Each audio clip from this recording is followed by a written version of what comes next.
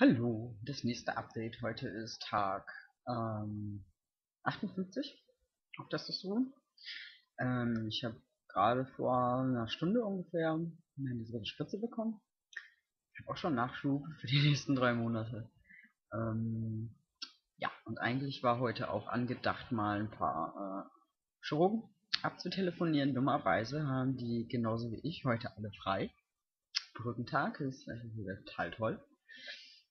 Ähm, die Tatsache, dass ich mich jetzt insgesamt darum beschäftige, auch mal jetzt äh, zu Vorgesprächen und so kommen und mir das mal alles anzuhören, wie das funktioniert und äh, auch herauszufinden, bei wem ich das eigentlich machen lassen würde, mh, mm, kommt daher, weil ich äh, glücklicherweise bemerkt habe, dass ich schon seit April, ja, April letzten Jahres in Therapie bin. Ich habe zwischendurch den Therapeuten gewechselt und somit habe ich im September tatsächlich schon meine 18 Monate Therapie voll. Äh, und im Oktober mein halbes Jahr Testosteron. Well, das bedeutet, äh, offiziell kann ich dann bei der Krankenkasse die Kostenübernahme für die OPs beantragen. Ähm, was natürlich fantastisch ist, weil das bedeutet, dass ich auf jeden Fall, wenn das natürlich alles klappt mit den Gutachtern und so weiter und so fort, ähm, nächsten Sommer oben ohne rumlaufen kann. Yeah! das ist äh, hervorragend.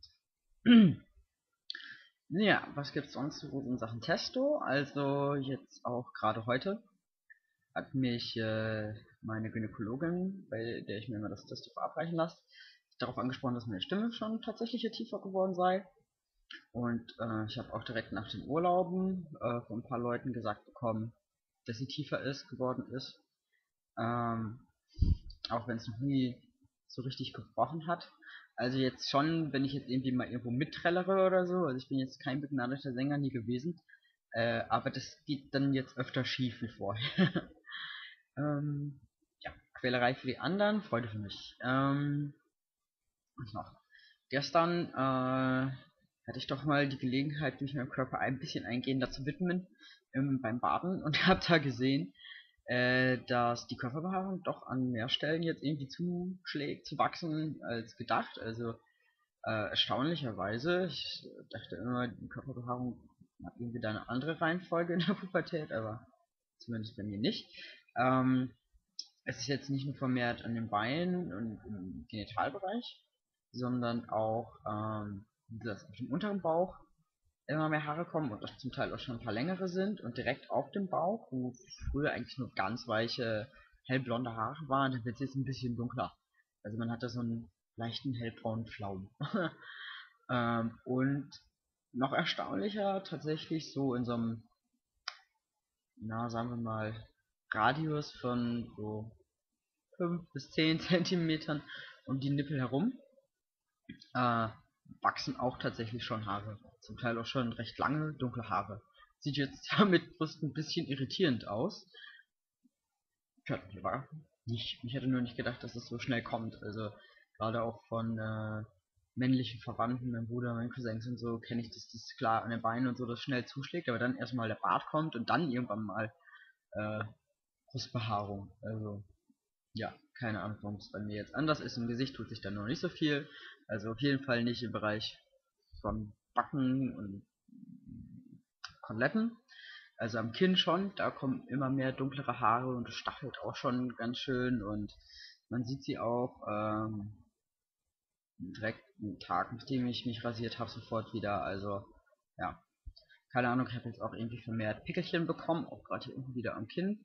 Mehr, ich weiß jetzt halt nicht, ob das ähm, reine Pubertätspickel sind oder halt durch die Haare kommt. Man weiß es nicht.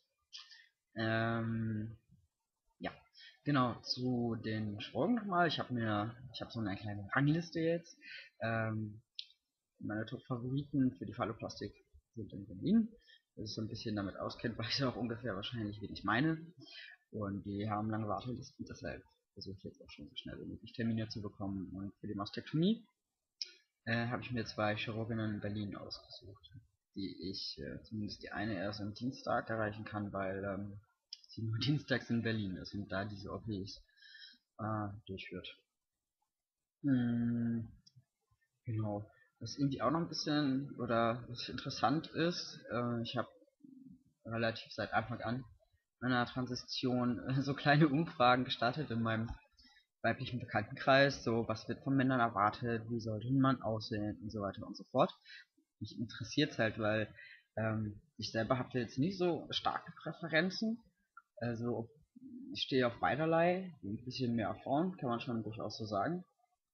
Also ein bisschen mehr schon. Ja, aber hübscher Mann, also für meine Begriffe hübscher Mann, den äh, schubse ich jetzt auch nicht von der Bettkante. Ähm, ja, und ich weiß nicht, meine Erwartungen an, wie hat Mann auszusehen, sind jetzt gar nicht so spezifisch. Also ich brauche kein Bart, kein Brustfell und auch keine äh, immense Körpergröße. Also ich finde es eigentlich eher sogar negativ, wenn jemand irgendwie über 1,80 ist. Also ich mag es einfach nicht so gern, wenn jemand so ein riesiges Stück größer ist wie ich oder ein ganzes Stück kleiner. Also irgendwie, was in meiner Größe plus minus 10 cm ist eigentlich für mich so das Optimum. Also das, ja. Und ja, wie gesagt, ich habe da jetzt nicht so immense äh, Merkmale bei Männern, die ich jetzt wahnsinnig attraktiv finde oder wo ich sage, das macht jetzt ein Mann irgendwie ganz genau aus. Und ähm, ja, wie gesagt, habe Umfragen gestartet und ich bin schon zum Teil, man könnte fast sagen, ein bisschen schockiert, wie äh, klischeehaft das hier wie ausfällt. Also auf jeden Fall groß. Ja, also das Maßstab ist, habe ich jetzt so herausgefunden, wenn die Frau hochhackige Schuhe trägt, sollte der Mann noch ein Stückchen größer sein. Ja, also sowas wie als 80 wird schon gefordert. Dann fand ich auch sehr cool, also starker Bartwuchs scheint auch immens anzukommen. Also wenn man, wenn jemand so einen Bartschatten hat oder so, dann bedeutet das irgendwie äh, starke Männlichkeit, ähm, was anscheinend äh, attraktiv ist. Ähm, was haben wir da noch? Ähm, muskulös schon, aber nicht zu sehr, aber auch kein schmales Hemd. äh, doch bei einigen, also bei gar nicht so wenigen kam auch, ja, es sollte schon so nach der Art, ich sag mal, ein Alpha-Tierchen sein, ja, die eine Führungspersönlichkeit, die durchsetzt und guten Job hat und la la la la. Also echt verdammt Klischee, verdammt Geschlechterrollenmäßig so. Also ich hätte nie gedacht, dass es tatsächlich äh, das Ergebnis meiner Recherche ist. Ich lasse mich doch gerne eines Besseren belehren. Ähm, werde natürlich auch weitere Nachforschungen anstellen, weil das sieht jetzt, sagen wir mal, so für mich auf dem Markt dann doch schon recht mau später aus. Ähm,